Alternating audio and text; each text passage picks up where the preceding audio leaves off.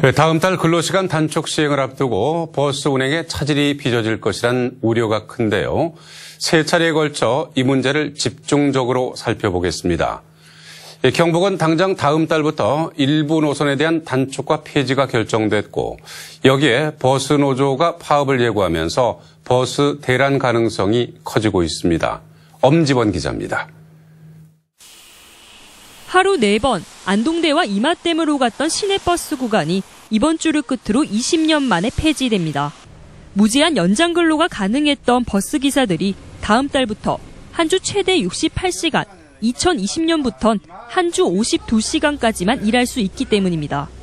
안동시는 시내버스 업체 3곳과 협의해 19개 시내버스 노선을 조정했습니다. 매점도 폐지됐고 이러니까 인가도 없고 이러니까 요즘은 한 명도 없어요. 한 명도 없어. 시외버스 감축에도 칼을 빼들었습니다.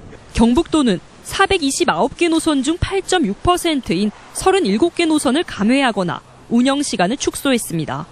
금화버스의 구미 점촌 구간은 폐지됐습니다.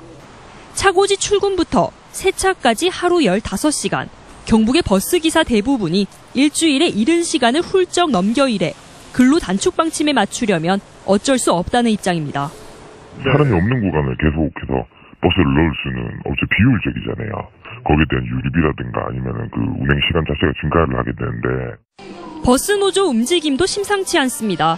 도내 시외 시내 버스 34곳 노조의 상급 단체인 경북 자동차 노조는 근로 시간이 줄어도 임금 보전을 해달라며 노동위에 조정을 냈습니다.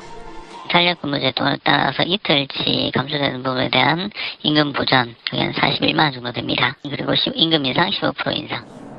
노사 간 입장차로 조정 여부가 불투명한 가운데 노사는 결과에 따라 다음 달 11일 전후한 파업 가능성을 예고하고 있습니다. MBC 뉴스 엄지연입니다.